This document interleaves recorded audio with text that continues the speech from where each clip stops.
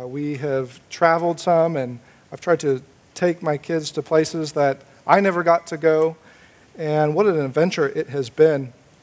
If I could put my finger on one adventure that is memorable, uh, it, would, it would be in Wales. Uh, one of our family trips was a two week stay in Wales, and among the highlights, as you might expect, were medieval castles uh, that just um, injected you with chivalry. Uh, the, the, sandy beaches there, uh, right under those uh, green pastured cliffs, sometimes white cliffs, were just breathtaking. And then uh, at times, in order to get to some of these beaches, you would have to uh, walk across these bridges, suspended. Now, I am terribly afraid of heights. uh, so, uh, oftentimes, my wife was far more brave than I could, I could be. But uh, some of these bridges were just right on the water, and you would walk across, uh, covered on both sides by uh, water lilies. And uh, I, I, had a friend once who used to tell me he was Welsh, used to tell me, well, of course, Wales is God's country, after all. And maybe there's truth to that. Maybe there's truth to that. My favorite memory, though, has to do with a site well off the beaten path in a, a little town called Pembrokeshire sandwiched between two giant rocks, sitting halfway down this uh, steep limestone cliff, you'll find a chapel, a very old chapel, and it is built out of rock and built into the cleft of the rock.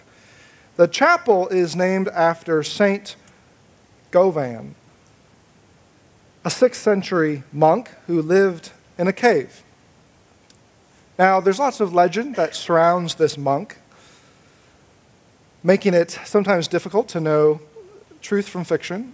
But that aside, one legend has it that he was on the run from pirates when the cliff swallowed him up into safety until the pirates passed by.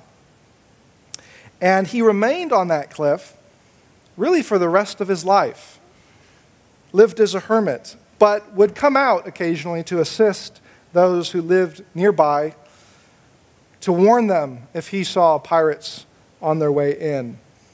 Now, regardless of whether the story is true or not, I can't tell you.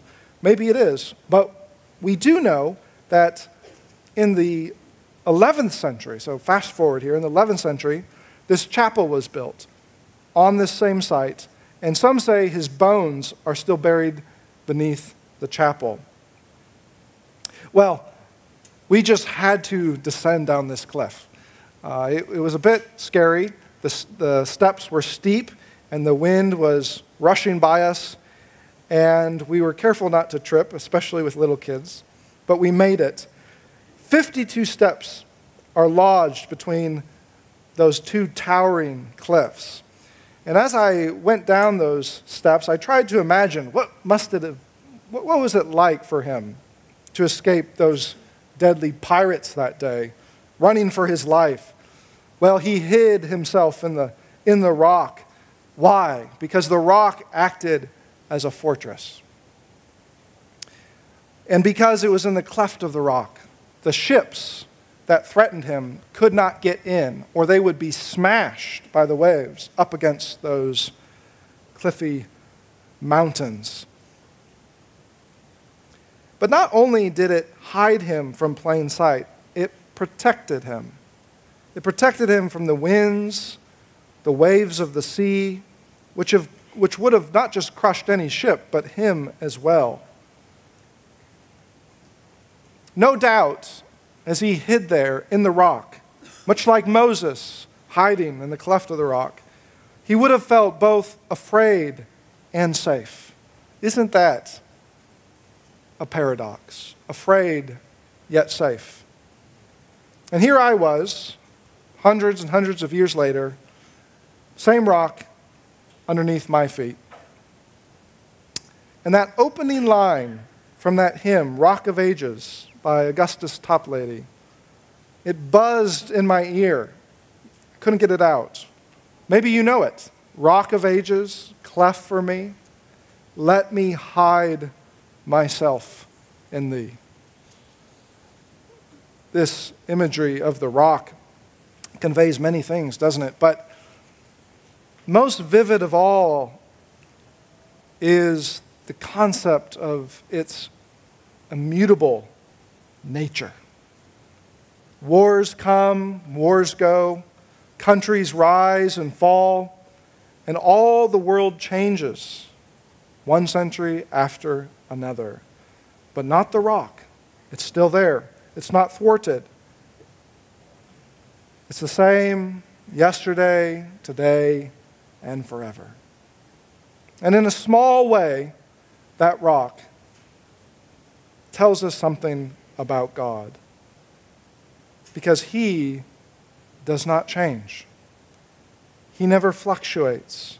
He's firm and secure, always there, incapable of defeat, and forever steadfast as a fortress to those in trouble.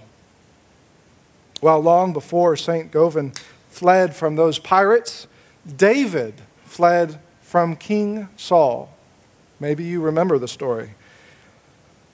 Filled with envy, Saul tracked David relentlessly, like an assassin on a mission to eliminate his target.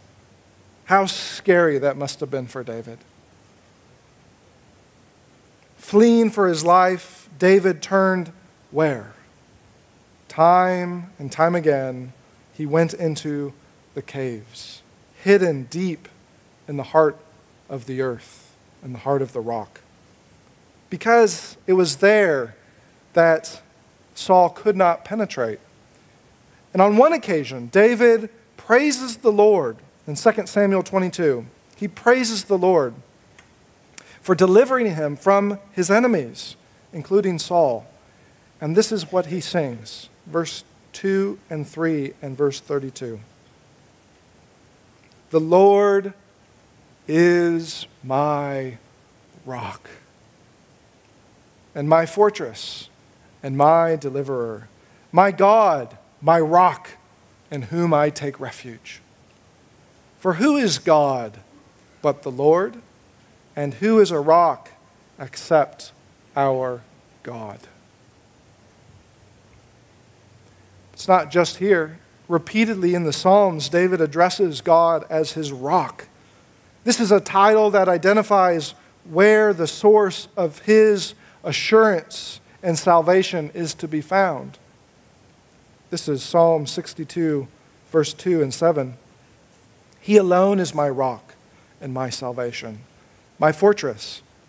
I shall not be greatly shaken.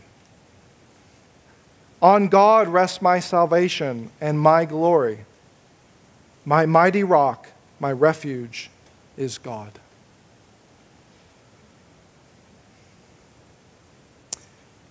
We won't take time to look at all the Psalms, but if you were to continue, if you were to do a study of the different Psalms, Psalm 19, for example, you will also discover that David uses this term rock to, to so identify who God is, it becomes a proper name for God. He begins and ends his prayers exclaiming, O Lord, my rock and my redeemer. Notice those two words go together rock, redeemer. Why does David do this? David sees an inseparable connection between God's character and real life. God's immutable, unchanging essence or being is the very foundation of David's trust in God for salvation, both physical and spiritual. If God is, is not unchanging like a rock, then he cannot act as David's fortress in times of turmoil. But if God is a, a God who does not change, then David has every reassurance that he can run to God when the whole earth has given way under his feet. Maybe you have had that experience as well. But it's not just here, is it, where we see God's immutability. Many other passages, including the New Testament, affirm this same attribute, so essential to who God is. We don't have time, but maybe tonight go home and read Malachi 3:6 or James, James 1:17, and you will see this attribute shine through in all kinds of ways. Let me ask you a theological question. What would happen if God were subject to change? Variation in God would spell the death of his own perfection. Remember that word? No longer would he be someone than whom none greater can be conceived. Think about this for a minute. If he were to change for, be- for the better, that would imply that he was less than perfect beforehand there was some type of deficiency or imperfection in his being. If he were to change for the worse, that would imply that he was perfect, but no longer is perfect. An imperfection has been added to him, or a perfection in him has been lost. And so he must change either from better or worse or worse to better. Well, either option, God ceases to be eternally good a God who is not eternally good is not eternally perfect either. And a God who is not eternally perfect cannot be God in the end. Immutability, we have to conclude, is essential and necessary to God's identity as the perfect, supreme being. But we should also add another point. If God changed from good to better, we would also have to ask what perfection was lacking his wisdom, his power, his knowledge, his love. We might also ask whether God is at the mercy of such a change or if such a change is voluntary. If he were at the mercy of such a change, then God would be impotent, vulnerable to the will of something or someone else, no longer the most sovereign king, no longer the most supreme being. On the other hand, what if, his, what if this change was voluntary? God would be at odds with himself. For he would, he would have willed a change in his very being, even though his perfections deny change, at least as long as they are to remain perfections. He would have willed that his perfections become less than perfect. Consider one example of this. If God is the most omnipotent, all powerful being, then he wills that he no longer be the most omnipotent being, then God has changed not only his power, but the perfection of his power. No longer is he, no longer is his power supreme.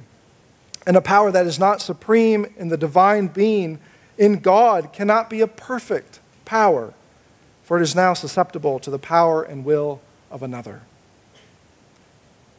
Well, we, you could choose any attribute, couldn't you?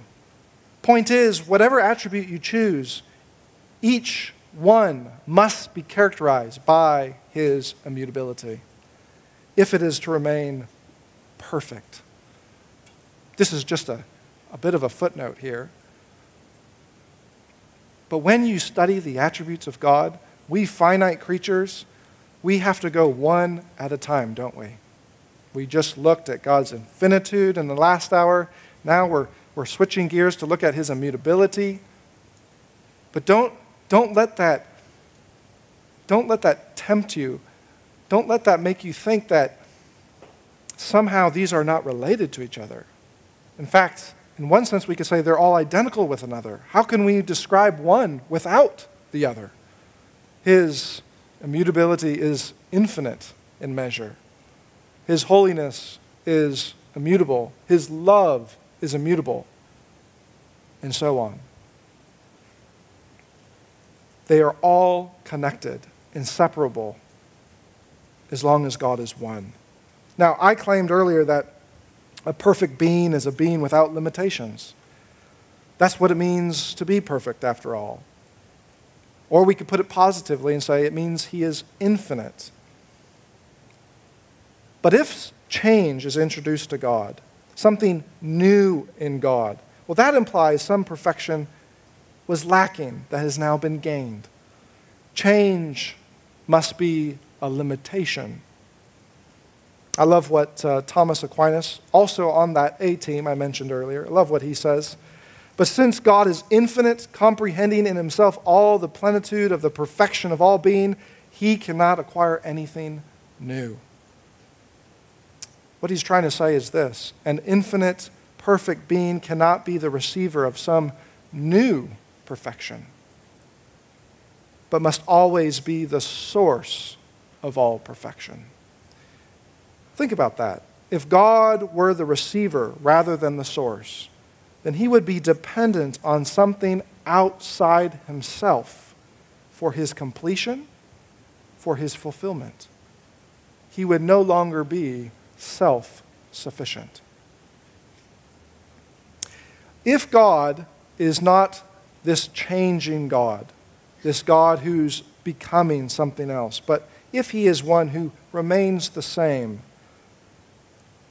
then he is a God who does not have potential. Potential implies deficiency in some way. Now, we use the word potential in all kinds of ways, don't we? Oh, Johnny's got great potential to be a receiver. Or Jill has great potential to be a center one day on a basketball team. But what does that imply? It implies there's work to be done. It implies that as great as that athlete may be, there's still something missing. But they have the potential to reach completion or perfection in our own standards. But God is not someone who needs perfecting, is he? He's not perfectible. He is eternally, immutably perfect. And his perfection is infinite in measure. He is, as I said before, the fullness of being. And as one who is eternally, immutably, infinite, perfect, he is not someone who has or must reach his potential. Potential would mean he needs to grow in his perfection. And growth like this would imply he is not perfect, at least not yet, but hopes to become so. He hopes to one day reach his potential. But, by contrast, if God is the perfect being, well, then he is perfection itself. Many of the members of that A team, they have a a two word phrase that tries to capture everything we just said. It's always wise to have a two word phrase to capture such complex truths, isn't it? They used this phrase and said, God is pure act. Pure act. Now, why would they use that phrase? Well, if God is pure act, that's one way of saying he has no, he's not passive he has no passive potential, or what they like to call potency. He has no passive potency. Now, I realize these are uh, terms we don't use every day, but hang with me. Passive potency means there's something in need of being activated, something that needs to be fulfilled. And if you apply that to God, goodness, what would that mean for God? There's something in need of being fulfilled in God, something that makes him still incomplete if he doesn't have it. But when we look at Scripture, we don't see that, do we? Nothing needs to be activated in God, as if he were in need of becoming, of becoming something more than he already is for all eternity. No, he is pure act itself. He is life in the most absolute sense. Life in and of himself, needing nothing. So, what that means is denying that there's potential in God, this passive potency, as we said. Well, that's just a fancy way of making sure that we do our biblical due diligence to keep the Creator distinct from the, cre- from the creature. He is not a God whose parts must be activated like ours, as if they're full of potential, if only they could reach their potential, incomplete, but never, nevertheless with the ability to be affected and perhaps someday get there. If that were true, well, in God's case, he would be affected, changed, perhaps even hurt by those in creation. But the God of the Bible is not a weak God. He's, he's, not, vul, he's not vulnerable to be pitied, which is why it's so wise to say of him, he is pure act. This phrase conveys that God is not acted on, but is the one who acts on others. Now, if this is true, and if we should call him by these names, then it comes back to the very basic principle that the earliest thinkers have, have turned to, and it's this God is the unmoved mover. Everything in our world, as you look around, you look at your daily life, everything in our world is mutable. It changes. It's moved by something or someone else. And if we were to trace that back as far as possible, every action you make, every event in your life, we would discover that there never was a moment when you were not moved by something or someone. My point is, our ever changing universe that, that we live in, well, it's full of movers always being moved, isn't it? But where did that chain of moved movers begin? Better question yet, how did it begin? That chain cannot be infinite, for if it were, then we would not be able to explain our movement at all. But what if there is someone who explains all of this? Well, he would have to be unchanging himself. The mover who is unmoved for all eternity. The only one that can create all the movement and changing that you see. You remember back to that prayer of Augustine? Is, do you remember what he said? He said in his prayer, God changes all things, moves all things, but he himself is changed by no one. Simple prayer, isn't it? That's the idea. And so when we use words like pure act or immutability, I know that sounds really weird, right? We don't talk that way in church usually. Maybe it's uber philosophical, but it's also very helpful when we have to dig deep into the deep things of God. It's trying to communicate that God cannot acquire anything new as if he was lacking before. His perfection does not increase or decrease. He never needs to become more perfect than he already is. One individual put it this way God is a being without becoming. So different from us. The God who is pure act has in and of himself all the plentitude of perfection of being. That's a maybe a very philosophical way of saying this God does not change. Now, I've been mentioning a lot of older names like Augustine, but I want to introduce you to one of my favorites, a Puritan, Stephen Charnock. Because Charnock helps us see how to connect the dots between everything we just said and all the other attributes of God, as well as the Christian life. Immutability is not just central to a correct understanding of God's very identity, but it also proves indispensable to your understanding of every other attribute you learn about God. This is why Stephen Charnock, this Puritan, he said, there's a sense in which immutability is the enamel.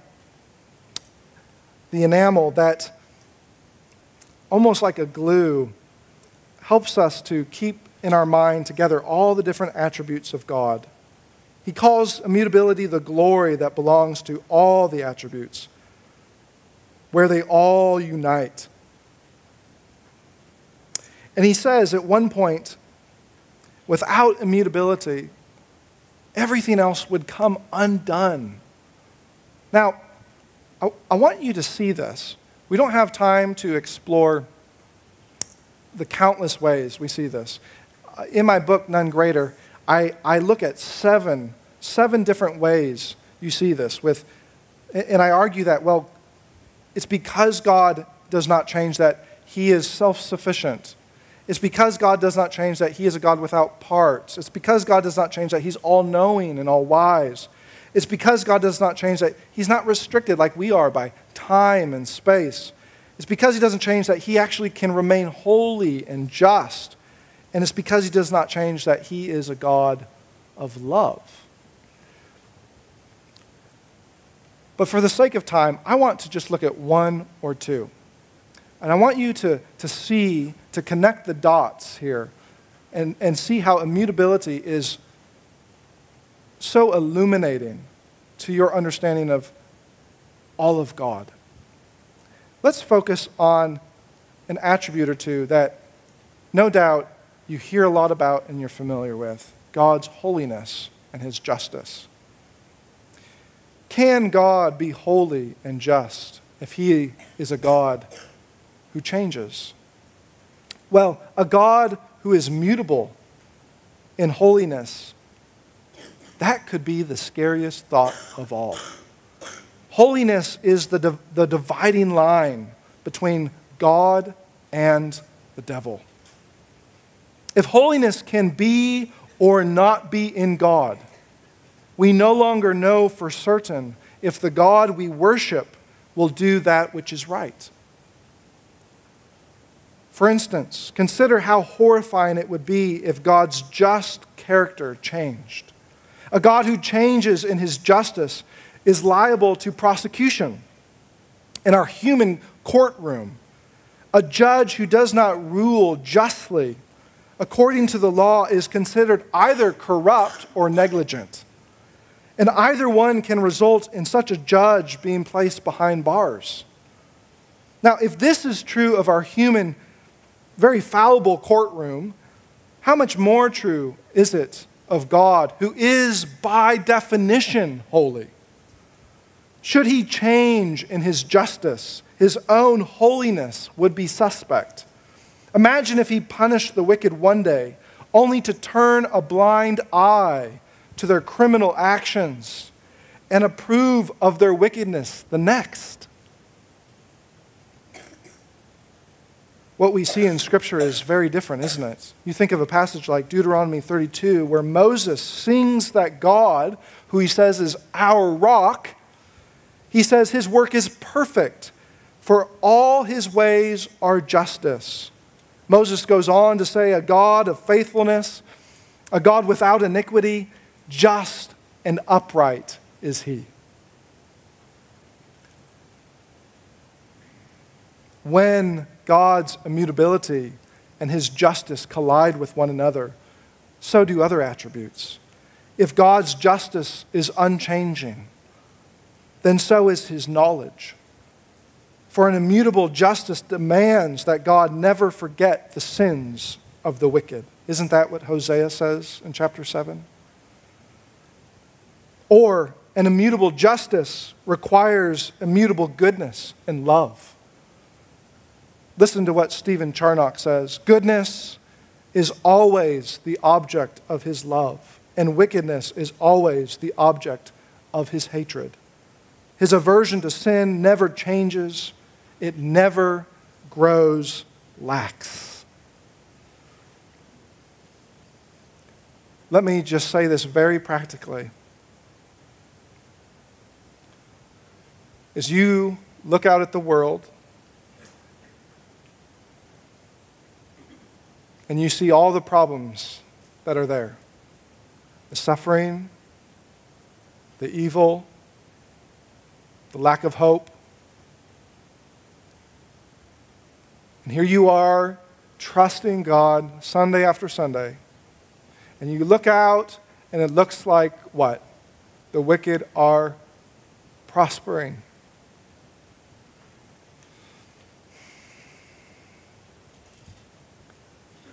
Where does your hope lie? Do you have hope anymore?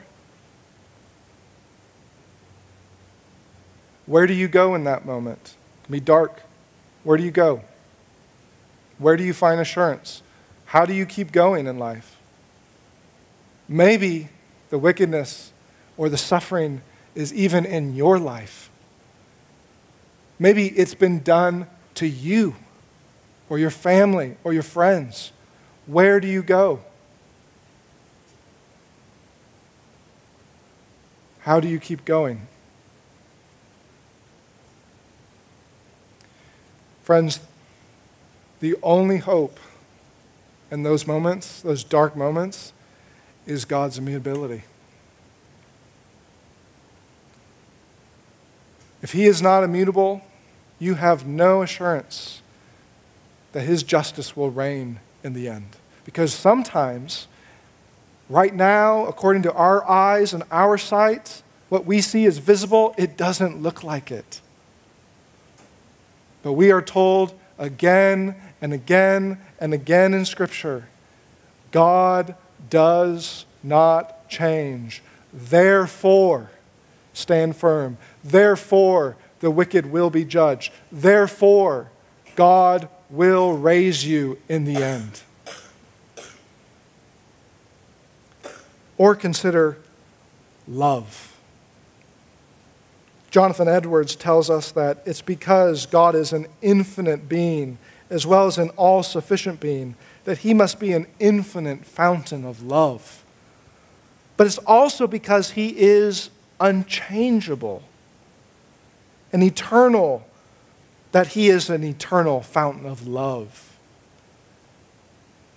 Don't miss this. God, if he is this eternal fountain of love from which you draw on day by day. Such love reflects the character of his own love for himself. It's because God loves himself without change that his love for us is a love that does not change. Should his love for himself fluctuate, there would be little assurance for you that his love will remain steadfast. Can you imagine if God's love were not immutable? Salvation would be the first doctrine to go, wouldn't it? What assurance would we have in His gracious, benevolent election of us before the foundation of the world? It's only because God's love is immutable, an immutable love, that we can rest assured that God chose us prior to creation, and He will turn us into new creatures, guard us from the evil one, so that one day we enjoy His new creation. It's because of His love that He, he is eternally immutable. It's because of all this that we sing, Oh, give thanks to the Lord, for He is good. Do you know the rest? for his steadfast love. His what? His steadfast, steadfast, steadfast love endures forever. This is a phrase that is sung by the psalmist again and again. I don't know about you, but I waver in my experience of God's love. One day, not feeling it as much as the day before. Maybe you do too.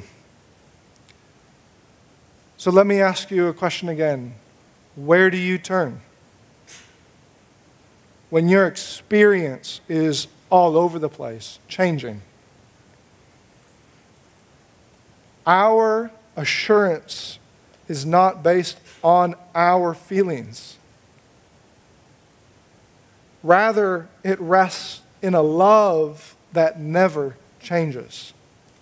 The Father's love for us, hear this, the Father's love for you is as unchanging as his love for his own Son.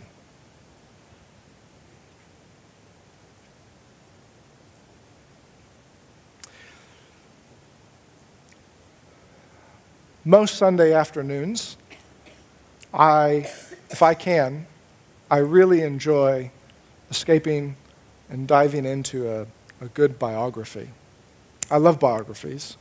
I lose myself in them. My wife has to call me back to reality. Uh, my favorite biographies, though, are about, they're not the biographies that are pristine and neat and tidy, and not those. My favorite biographies are about Christians who, well, things have been tough, messy even. They've endured much, perhaps, for the gospel. Not because they are confidently triumphalistic, actually, it's, it's for very different reasons. They're transparent about their absolute dependence on God, sometimes in the midst of nearly giving up. Often, they they'll point to the little things that they can look back on now after a whole life lived.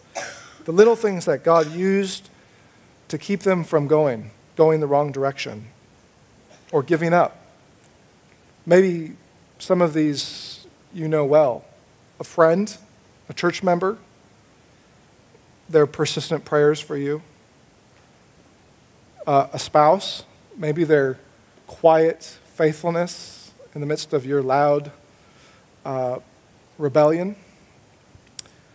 Maybe the warning, these are the hardest, aren't they? The warning of a close friend to keep you from sin, from slipping. The author of Hebrews knew that these little means, there's many more, these little means, well, they're absolutely key to the Christian life which is why the book of Hebrews is filled with all those warnings about apostasy, some of them very severe. It not only warn, warns us, though, it also comforts us, pointing us to the immutable character a holy God for assurance in times of testing. If you want to guarantee something, guarantee the truthfulness or reliability, say, of a, a promise you've made, what do you do? Well, you'll likely swear on the most personal, the most significant, the most valuable object you have, if the stakes are high enough, I suppose. Maybe this is why we say something like, I swear on my mother's grave, right? We're trying to communicate. There's nothing greater to swear on here for you to trust that I'll do what I said. We know, uh, well, as human beings, we're prone to lie, aren't we? We're prone to change our mind, to be fickle. So, if we're to be trusted, we must swear by the character of something or someone else that's greater than ourselves. This reassures the other person. They'll keep their word. But God doesn't have to do this like us. He has nothing greater to swear by than himself. Never changing his holiness, he is the very standard of justice and morality in the universe. In a court of law, it used to be the case that one had to place their hand on the Bible, swearing to tell the truth, the whole truth, nothing but the truth, truth, so help me God. But if God, let's just pretend here, were to step up and enter the witness stand, he would have nowhere to place his hand but on his own chest. Why is that? Well, in order to reassure, you think of a book like Hebrews again, Hebrews 6, in order to reassure his readers that they too are children of the promises of Abraham, the author of Hebrews turns to God's own nature, his own character to do so. Listen to this. He says, For when God made a promise to Abraham, since he had no, no one greater by whom to swear, he swore by himself, saying, Surely I will bless you and multiply you. So when God desired to show more convincingly to the heirs of the promise the unchangeable character of his purpose, he guaranteed it with an oath. So that by two unchangeable things in which it is impossible for God to lie, we who have fled for refuge, that sound familiar? Might have strong encouragement to hold fast to the hope that is before us. Whether or not God's oath on which our entire salvation depends is reliable depends entirely on His unchanging nature, His holy, immutable character. Whether all the covenant promises will be yours rests not only on God's faithfulness to the covenant, but on the unchanging nature of God Himself.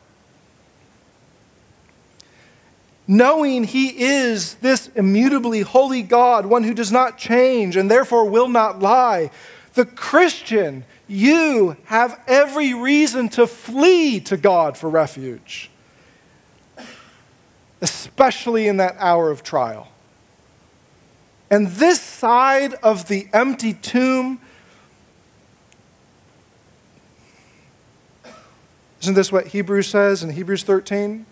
The soul's sure and steadfast anchor is found in no one else but who? Jesus Christ, the one who is the same yesterday and today and what? Forever. He stepped into the very presence of God, into the inner place behind the curtain of the temple. Old Testament imagery coming through here, offering up an eternal sacrifice for our sins as our eternal high priest, as our immutable mediator.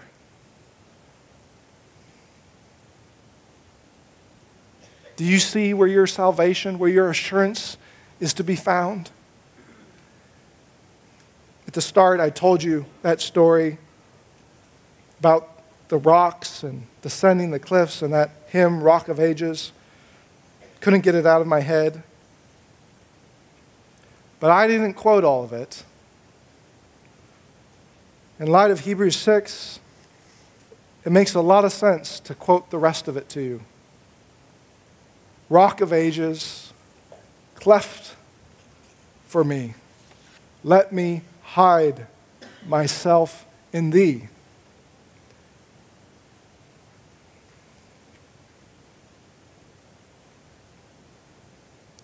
Let the water and the blood from thy wounded side which flowed be of sin the double cure. Save from wrath and make me pure. Let's pray.